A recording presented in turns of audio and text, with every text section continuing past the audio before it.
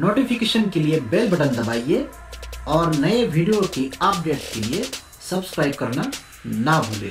तो please subscribe ज़रूर करें। नमस्ते दोस्तों आपका स्वागत है मेरा YouTube channel hit shot film में। आज के इस पार्ट में हम देखेंगे ये जो लैपटॉप है ये Lenovo IdeaPad three thirty model है ये। आ, तो अभी हमें करना क्या है कि आ, ये जो लैपटॉप जो कीबोर्ड है ठीक है ये कीबोर्ड अगर हमें चेंज करना है तो हम कैसे चेंज करेंगे? एक्चुअली आप देख सकते हो यहाँ पे जो कीबोर्ड है वो कीबोर्ड यहाँ से हम नहीं निकाल सकते तो इसके लिए हमें लैपटॉप को खोलना पड़ेगा हमें लैपटॉप खोल के आ, इसका जो पाम रेस्ट है इसे खोल के उसके अंदर से हमें कीबोर्ड को चेंज करना होता है ठीक है? तो सबसे आ, पहली और ज़रूरी चीज़ ये है कि हमें जो कीबोर्ड का जो कनेक्शन है, वो निकालना पड़ेगा, ठीक है? तो देखिए, अभी जैसे जनरली हम कर, करते क्या है कि जैसे अभी ये पाम रेस्ट के अंदर ही अगर कीबोर्ड आपका फिटेड है तो देखिए, हम क्या करते हैं कि ऐसे, जैसे अभी देखो, खोल अब आपको खोलने के लिए सबसे पहले करना क्या है कि यहाँ पे जो बैक जो बॉटम केस है, यहाँ पे जो जितने भी स्क्रू लगे हुए होते हैं, इसके, वो सारे स्क्रू आपको पहले निकाल देने हैं, ठीक है? ये जो स्क्रू यहाँ पे लगे हुए हैं ना, ठीक है? यहाँ पे एक, दो, तीन, चार, ठीक है? उसके बाद कुछ स्क्रू हाँ यहाँ पे ये देख सकते हो, ये जो सील होता है ना, यहाँ पे एक स्क्रू होता है, ठीक है? तो वो स्क्रू भी आपको निकाल देना है, ठीक है? उसके बाद यहाँ पे देख सकते हो आप, यहाँ पे भी है, यहाँ पे भी है सॉरी यहाँ पे। तो ये सारे स्क्रूज आपको निकाल देने हैं ठीक है? निकालने के बाद अगर आप सोच रहे हो कि पाम रेस्ट जो है उसको ऐसे निकाल के यहाँ से आप इसके जो कनेक्शंस है वो कनेक्शंस आप निकाल दोगे। लेकिन आ, इसके जो कनेक्शंस है आ, तो यहाँ पे ऊपर की तरफ़ से बिल्कुल लगे हुए नहीं है।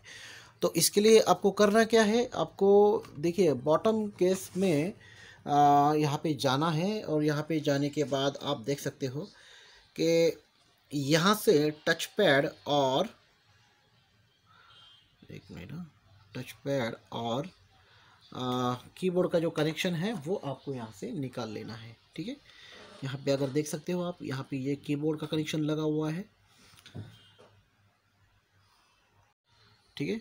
यहाँ पे अभी मैं दिखाता हूँ आपको, ये जो है, यहाँ पे ये कीबोर्ड का कनेक्शन लगा हुआ है और यहाँ पे ये टच पैड का कनेक्शन लगा हुआ है, ठीक है? तो कीबोर्ड का कनेक्शन निकालने के लिए यहाँ से मैं ये जो, इसका जो नॉच है, इन नॉच को मैं पहले ऊपर की तरफ़ खींच लेता हूँ। ठीक है? यहाँ पे आप देख सकते हो, ये जो नॉचेस हैं, ये मैंने यहाँ से निकाल दिए हैं।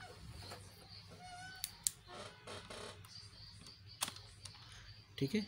तो अभी ये टच पैड और जो कीबोर्ड है, इसका जो करेक्शन है, वो निकल गया। ठीक है? और यहाँ से अभी नीचे मैं ये उठा लेता हूँ ठीक है?